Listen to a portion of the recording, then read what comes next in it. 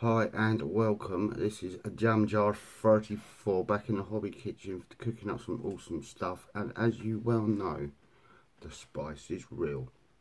Um, so yeah, I've been I'm in an ahhing about um, doing Warboss Tay's painting challenge. Um, in conclusion with Daft Tooling and big big shout out to Daft Tooling and Warboss Tay for well doing another painting challenge this year. Um, I'll be watching in the background and I know it's a bit late but I think it might be worth me just getting getting some hobby down and achieving something um, if I can towards the end of it. So, what am I going to do? Well, I've had past experiences where I've completed stuff. I've had past experiences where I haven't. I've had past experiences where I've added more stuff and it got out of control. So I've gone for something quite simple really. Um, I'm doing um, a Celestial Vindicator um, Stormcast Eternal Army. Um, so I thought just to add something. See, it hasn't. It's still got the wrapper on it. I haven't touched it. Um, and it'd be quite nice to just do like um, an unboxing, but while I'm actually working on it. Um, so that is what I am going to do. It is Celestar Ballistic Ballistica blister whatever it's called. I'm gonna try and do it. Um, I've got loads of other stuff going on. Um, on my hobby table um, I'm in the way of doing it. But let's get all the funky stuff out of the way. So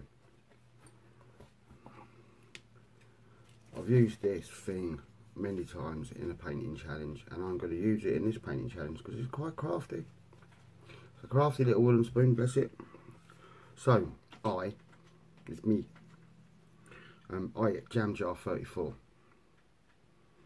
um, swear upon this sacred wooden spoon and in past um, painting challenges I, I have explained why it is sacred.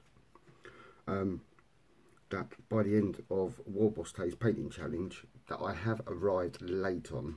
Um, but I'm still going to do the 31 days past past past. And I am going to do the highest thing with the side objectives as well. Um, I will paint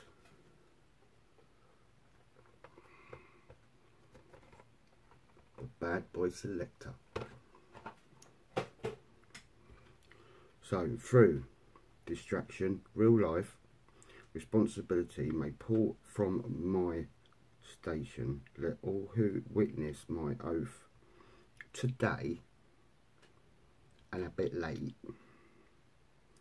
um, know that I go into this battle with con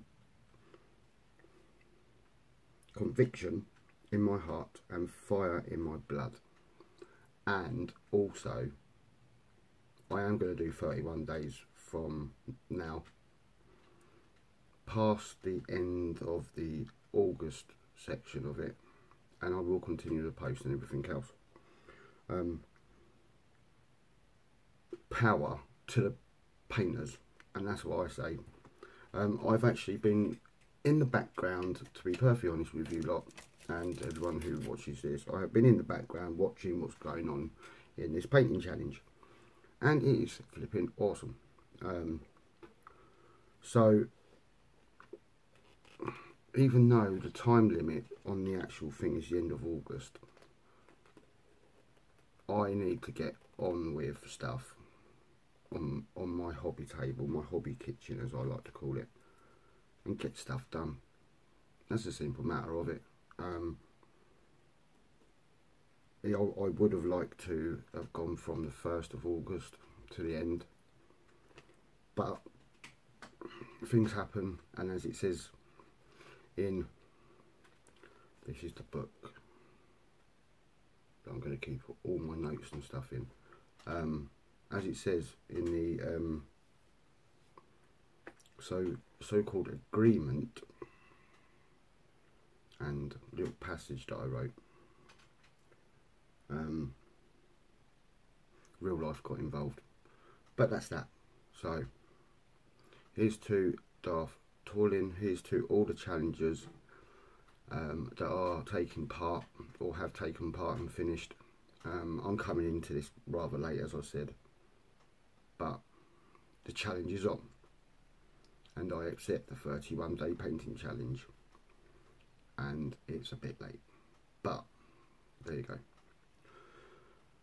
So, girls, boys, aliens, and anyone, keep up the awesome work. Um, this is Jamjar 34. I'm I am going to sign off now. Um, I'm going to upload this video, post it in the group,